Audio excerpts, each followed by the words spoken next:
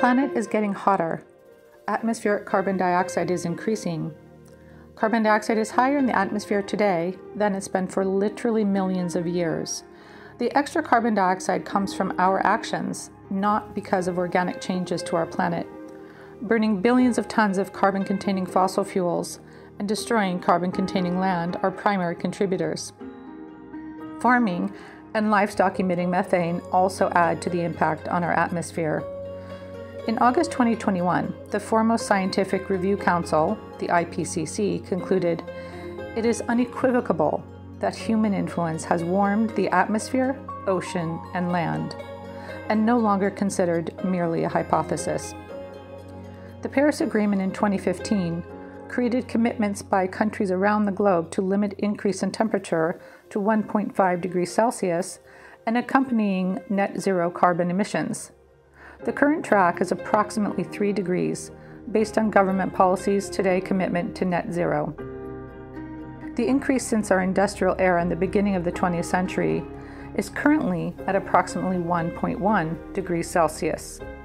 This is already affecting weather and climate extremes in every region across the globe. In other words, it's not just temperature that's changing, sea levels are rising, weather patterns are changing, and heavy rainfall is becoming even more extreme. The last ice age was just 4 degrees Celsius colder than the century before.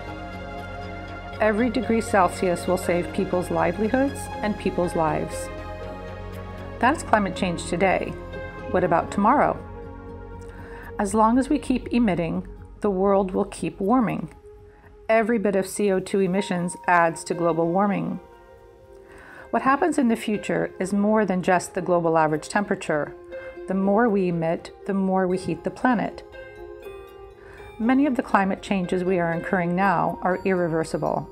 Nowhere is that more clear than the most famous impact of climate change sea level rise.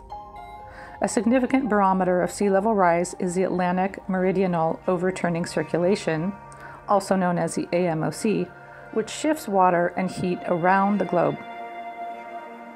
A 2021 study reported that there has been an unprecedented weakening of the AMOC during the past millennium, an indication that the change was caused by human actions, the AMOC has already slowed by about 15%, with impacts now being seen.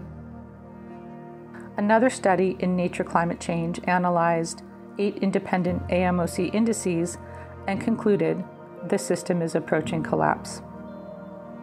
It is clear that everyone has a role, both personal and societal, to take action and correct climate change. Planet Earth is everyone's business, unequivocally.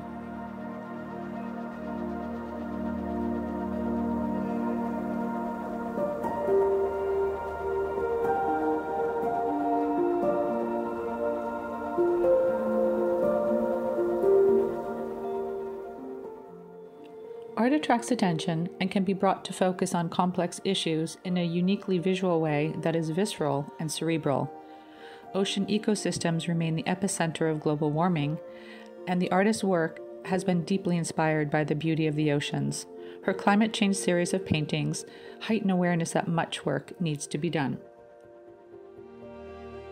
The artist uses the neo Baroque costumes of the celebrations of the Altiplano in the Andes to show the duality between the indigenous Spanish Catholicism and its aestheticism on one side and Made in Asia brand of these same costumes.